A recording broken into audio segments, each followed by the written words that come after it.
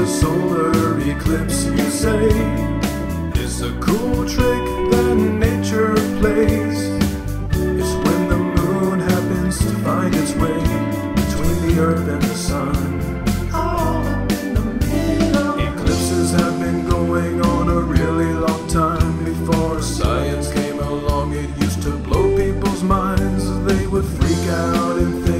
that the world was gonna end. I can't imagine I would too if the sun went dim and no one could tell me what in the world was going on.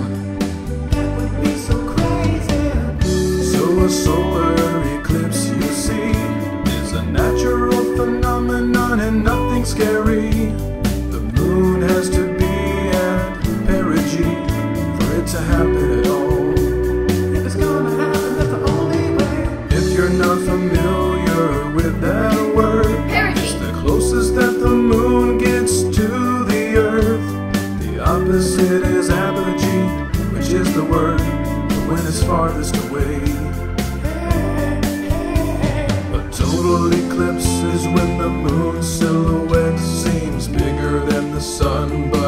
lest we forget, the sun is still a lot bigger, it's just farther away. And an eclipse is cool, so it's really okay. It doesn't matter which one is bigger anyway. They're all special in their own way. That's the truth, yeah. Hope you enjoyed this song about solar eclipses.